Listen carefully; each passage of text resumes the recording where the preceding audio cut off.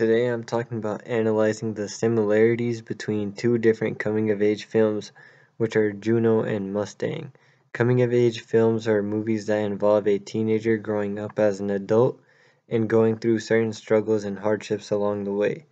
Mustang and Juno both share symbolism related to sports, such as in Juno we see the cross-country team,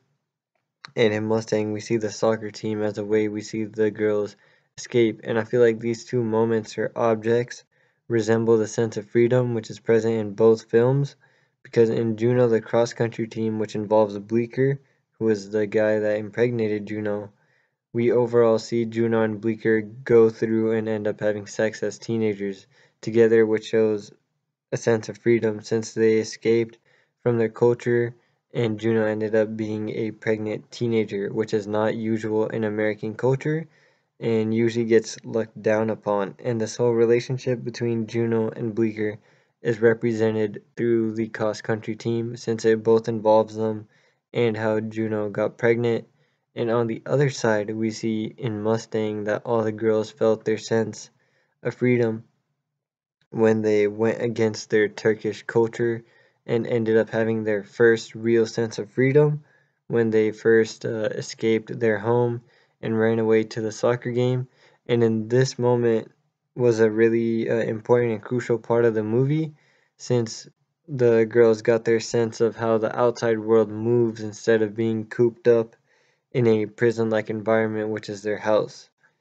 And also throughout the movie, we see very similar uh, characteristics present in Lale and Juno, since both characters are rebels in their own cultures being uh, Juno being American culture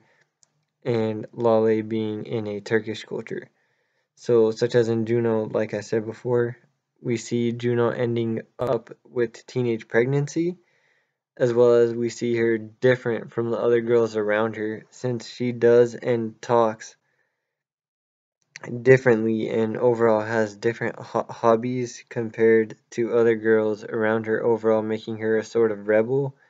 in uh, the American culture since she kind of rebels against the norms or what's expected through her culture.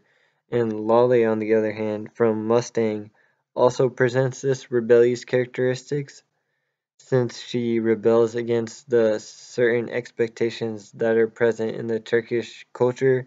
such as her doing things she has been told not to do or of what is not acceptable in Turkish culture such as them escaping the house to go to the soccer match, and as well as we see her rebel against this certain arranged marriages that her sisters uh, were involved in. We saw Lale step up and rebel against the Turkish culture, and we saw her stand up for her sisters and her own beliefs as she felt like the aspects of marriage were wrong in her mind.